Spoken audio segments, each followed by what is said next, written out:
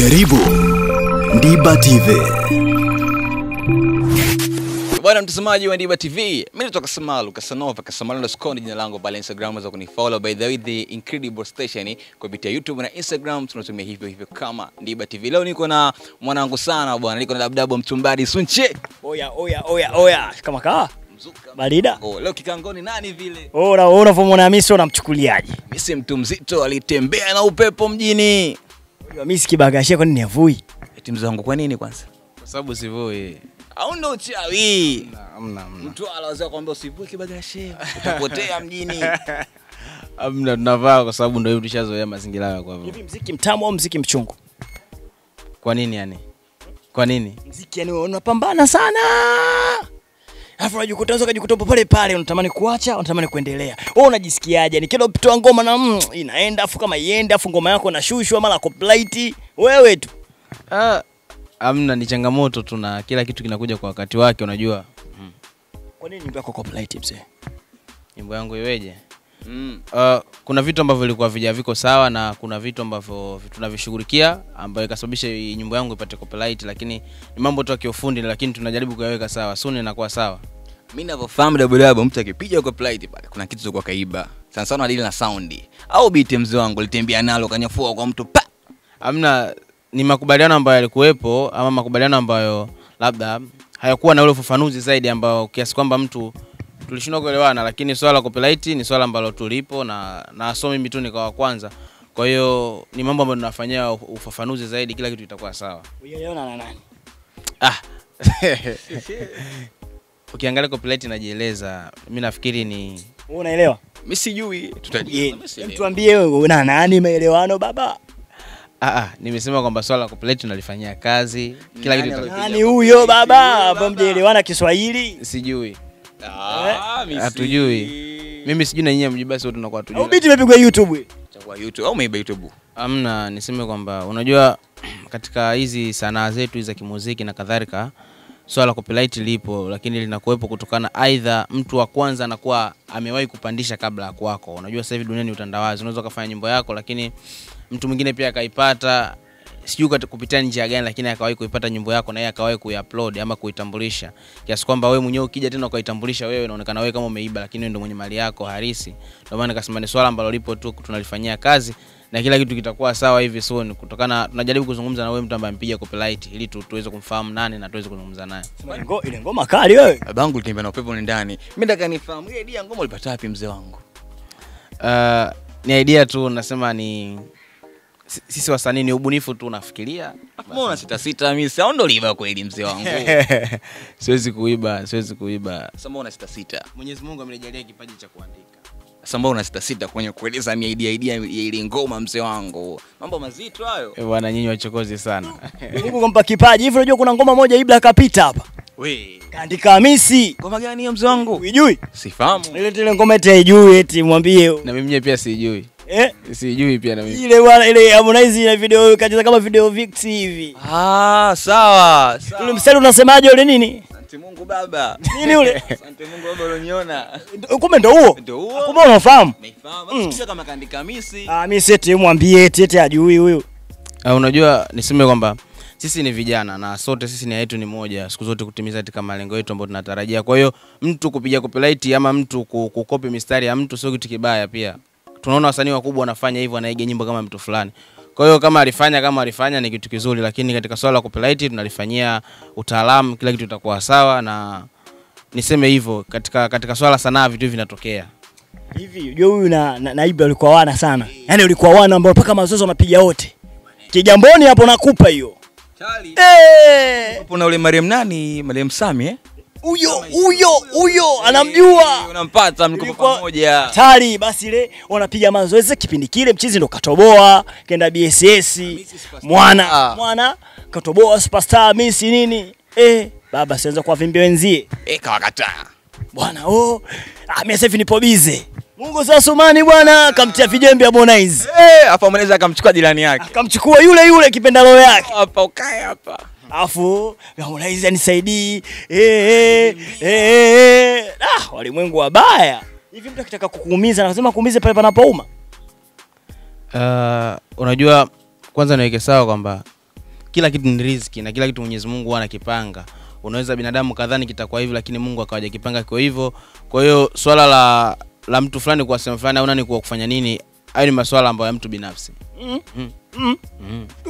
Eti Hamisi eti naye tena mlilia Harmonize amsamehe.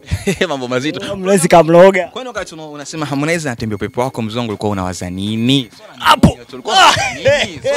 Ngoja tu. ulikuwa unawaza nini Afu wewe mtoto wewe. Hamisi Mtoto mbaya wewe. Eh, swala ni moja tu Sawa, sisi ni vijana, mimi nasema kila siku, lakini kuna wakati mtu unaweza kwa unazungumza ukaamini ni sahihi kwa wakati huo, lakini siwe sahihi kwa hicho unachokizungumza. Lakini pia unaweza kuwa unazungumza usiwe hicho unachokizungumza ukawa unakifahamu kiundani. Ndio maana nasema kwamba binadamu anaweza akawa anafanya makosa aliyakuwa anajitambua au makosa aliyakuwa ajitambui, yani ukawa unakosea lakini ujui kama unakosea. Kumbe mm -hmm. ulikuwa umekunywa Wewe ndio unasema hivyo.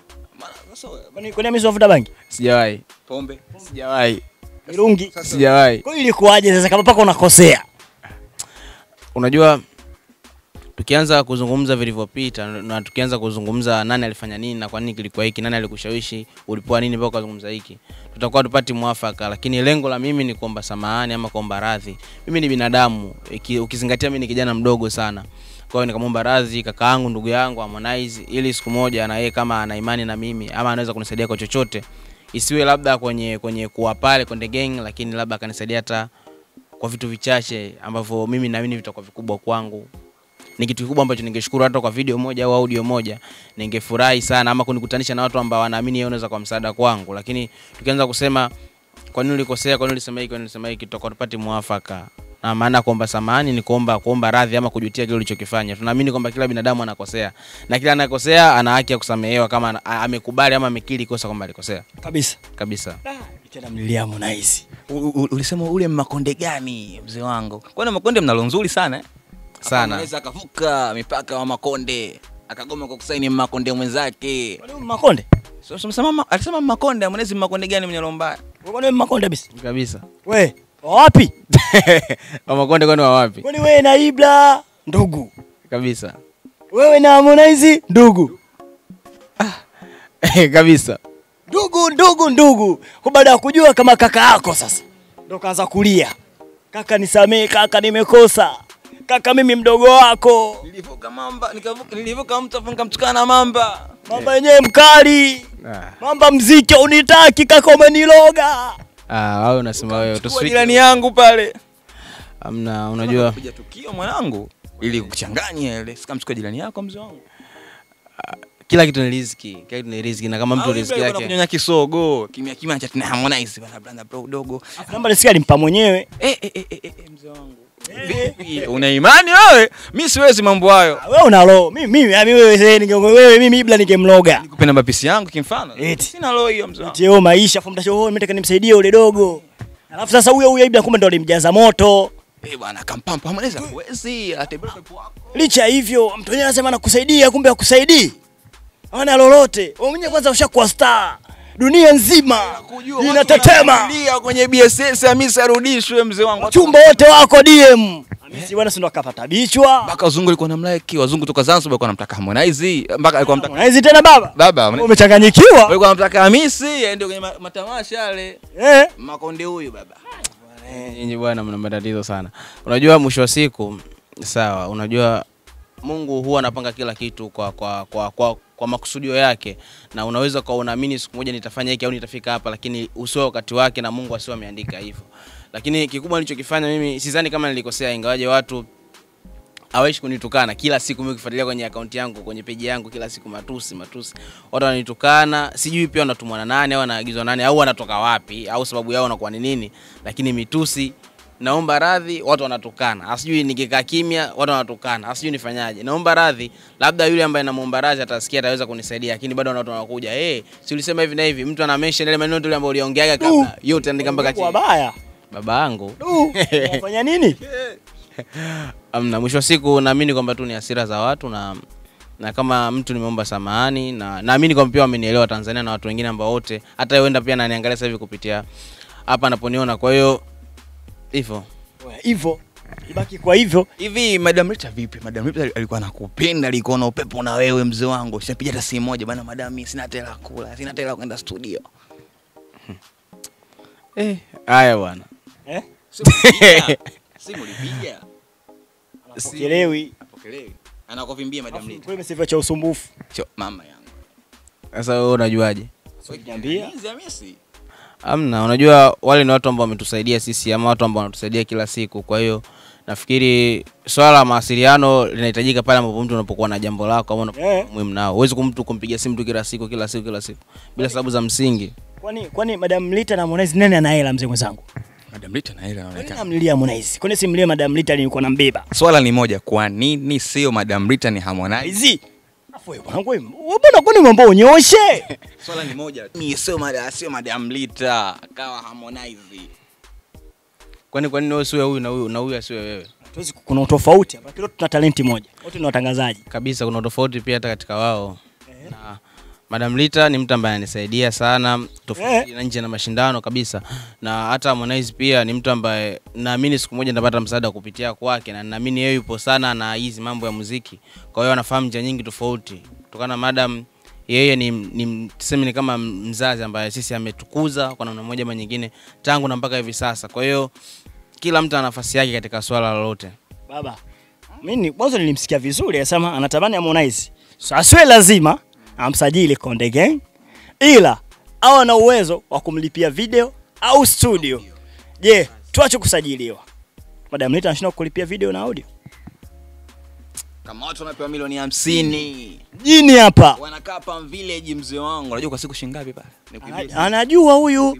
mwibia sira kati katoka huko huko mzee mwenzangu. watu wanapalilia pale, wanafunzi wa chuo wanafanya sifa kwa miladi yao mpaka anaingia pale anakaa. Baba, twende. Swala ni moja. Twende baba, swala ni hili. Swala lipi? Swala ni moja tu. Kwa nini sio Madam Lita kumlilia? Kwa nini uende kwa Harmonize kulipia video kama utaki msaada? Amna, mimi kabla nilishawahi kusema yani mtu ambaye anahitaji kusaidiwa au mtu ambaye anaomba msaada haina maana kwamba utaomba msaada labda kwa mtu fulani tu peke yake. Ndio maana nikasema sio yeye tu, ama hata watu wengine ambao wanaamini wao wanaweza kunisaidia chochote tofauti na, na, na, na, na, na yeye. Kwa hiyo hata madam pia ni, ni, ni sehemu ya watu ambao mimi naamini siku moja kuna msaada kutoka kwao, na hata yeye Harmonize ama wengine ambao wananisikia au wanitazama sasa hivi pia kuna msaada kutoka kwao. mm. Wewe unakubali hilo? Hapana, Unakubali hilo? nimepinga. Swala ni moja tu. Ni moja tu. Italipo wapi? Uchawi wetu. Italipo wapi baba? Kutoka na ngwanda sijaona. Hivi unajua kama alitolewa vitu nje? We. Mambo mazito. Unajulia jawabu ndugu yangu? Walimwengu wabaya. Kiatu chake dawa, mda baniani mbaya, kiatu chake dawa. Tupe dawa. Swala ni moja tu. Basi. Baba, lile gitaa ushaenda kulikomboa upate la kodi? Yani sawa, Ile ndo na mikoba. mikoba nani tena? Ah, Mimi sijui. Swala ni moja tu, tueleze. Swala lipi? Baba, lile gitaa letu lile. Gitaa lipo, Lipo wapi baba? Lipo nyumbani. Sio Tutakuwa tunamwona Eh, hivi umepanga wapi sasa hivi? Gita liko Wapi? Gita liko wapi? Tanta lile lile lile lile kwenye kwa naimbaji. Nipata la. Nafasi ah, ya kusema na wewe kidogo mama. Mwenzako naumia. We, watu wakanyanyuka, watu wakanyanyuka. Watu wa makofi. Nusu wa sema ATM zilikuwa zimefungwa siku ile. Hivi zile ndala ndo hizi? Ah, sio. Mzee wangu afsa yako nzuri. Ah, yake gharama bwana. Wewe hizi hizi alivaa Cristiano Ronaldo bilioni Eh. moja alinunua. Hivi wewe bwana Hamisi, hivi Hamisi kwa nini siku unajua wasanii lazima badilike badilike. Msanii lazima badilike badilike. A change upepo. Baba Levo jitu zima linasuka. Kama choma jezo. Eh, kwa nini basi suke na yetu unywele nini? Ubleach. Mama wake. Ke. Ah, mimi hapa mimi sasa hivi najua hata hata chunusi ana. Si wewe shavu umeliona? Hela, alafu hela mbaya, ni mbaya. Acha mjini. Afu kakatadiwa naye. Ila sana kaka kigogo, niulize eh, Kigogo hapo una, una nyumba au umepanga hotelini? Mimi Kigogo, umesikia vibaya. Mimi na kama Gomeni. Gomeni mtaa gani huo? Mimi na kama Gomeni, sima Gomeni mikumi hapa. Yule producer Beni kakufukuza pale. Eh eh. Producer, wa kwio, mimi nataka kwio. Una hela kwio. Imekuaje pale? Kivipi? Sasa yule ni bani, yule ni Ah, bani. Ah, Diba TV